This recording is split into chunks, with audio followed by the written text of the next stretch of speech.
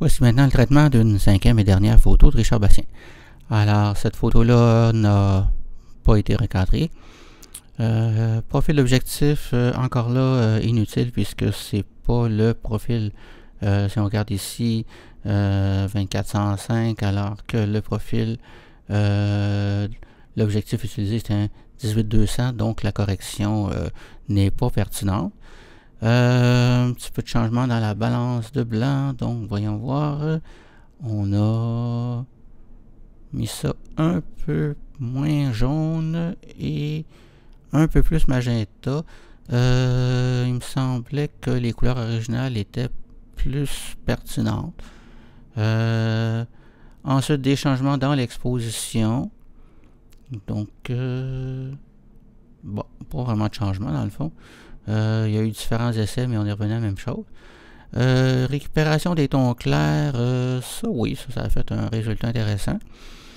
lumière d'appoint, oui aussi. des jeux de contraste, ça, ça l'a mis un peu plus terne. Je ne suis pas certain que c'est une meilleure idée.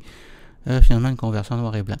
Donc on va, comme toujours, il n'y a pas de cadrage à copier-coller, donc on va simplement réinitialiser la photo et la reprendre donc en Lightroom 4. Euh, disons que oui, je vais commencer par euh, les tons clairs, donc euh, aller chercher du détail. Par contre, ça fait un résultat peut-être un peu moins intéressant au niveau de la couleur. On a du vert, on a du... je vais faire ça autrement, je vais essayer, j'annule ça et je vais y aller avec l'exposition. Euh, qui, dans le fond, donne un résultat assez semblable aussi. Euh, voyons voir. Donc, exposition, je la ramène à 0 et je descends les tons clairs. On va pouvoir comparer. Alors, en descendant les tons clairs comme ça, Maintenant, si je compare avec celle que j'ai fait ici, euh, donc ton clair et donne pas nécessairement un, Résultat, si je regarde juste les tons clairs, la couleur de la peau est, ouais, est mieux finalement avec les tons clairs. Donc on va y aller comme ça. Euh, ton foncé, un peu. Donc là, on a été chercher quelque chose comme ça ici. Euh, je vais jouer de nouveau avec les tons clairs, mais cette fois-ci avec les courbes.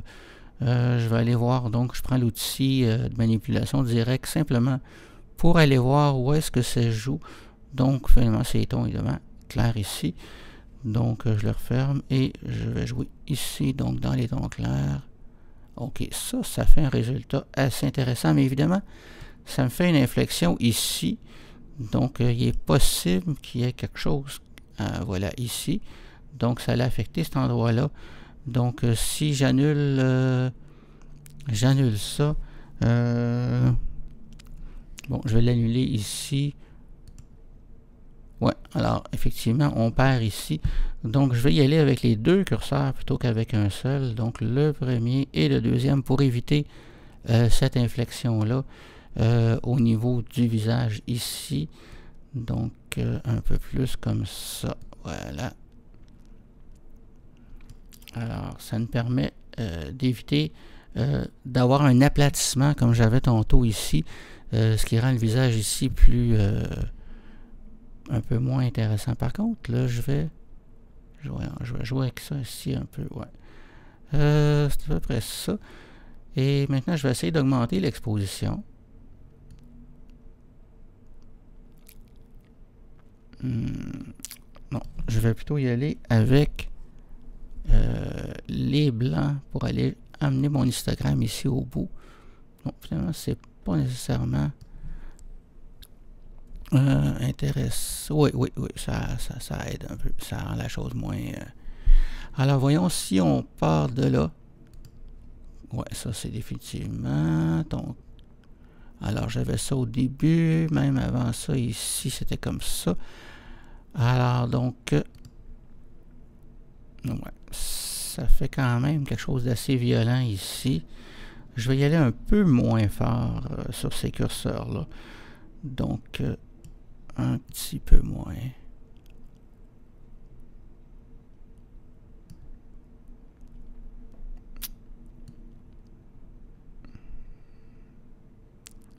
À peu près comme ça peut-être. Ça, c'est un peu mieux comparé à ce qu'on avait au début. Une diminution d'exposition. Et ce que je viens de faire maintenant. Oh, oh, oh parce qu'il y a eu les tons sombres entre les deux. Euh, supposons que je diminue l'exposition et que je ramène les blancs à droite. Voilà. Ça, je pense que ça commence à être pas pire. Donc, exposition ici, diminue l'exposition. Et avec ça, ouais, ça, ça commence à donner quelque chose qui a de l'allure. Et je pense que cette fois-ci, je vais mettre la clarté, mais dans le négatif, pour faire un effet de soft focus un peu, pour adoucir la photo. Bon, pas trop quand même, pour pas qu'elle ait d'une poupée. Euh, un petit peu euh, de soft focus. Donc, euh, parce que le visage était plutôt un peu trop ici, là, les lumières sont assez violentes. Donc, un petit peu ici, ça adoucit. maintenant, euh, qu'est-ce qu'on peut faire d'autre? Euh, oui, clarté négative dans ce cas-ci. Oui, définitivement, ça s'impose. Après ça, un peu de netteté sur les yeux. Donc, euh, alors, la netteté, évidemment, mais avec un petit rayon pour pas trop, trop augmenter le grain de la peau. Et ça pas vraiment mis de bruit visible ailleurs. Donc ça reste raisonnable. Donc avant la netteté, évidemment, ça ne change rien à cette résolution-là. Donc si je regarde en grand, avant la netteté,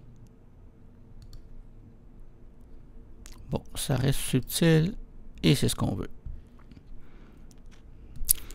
Alors, Probablement que si la photo avait été prise en RAW, on aurait pu aller récupérer davantage de choses ici, mais là, on est en JPEG, donc euh, euh, c'est quand même assez intéressant.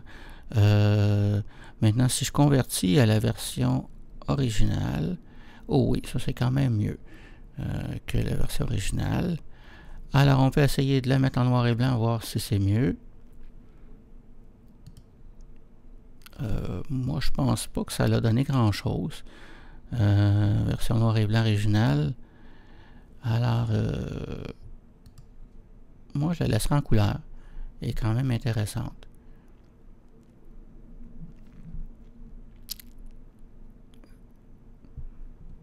Que c'est mieux que la version couleur qu'on avait au départ.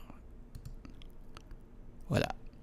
Donc, je la laisse en couleur, tout simplement. Mais euh, les couleurs sont belles quand même, assez vives, tout ça. Donc, euh, je la laisse en couleur. Voilà.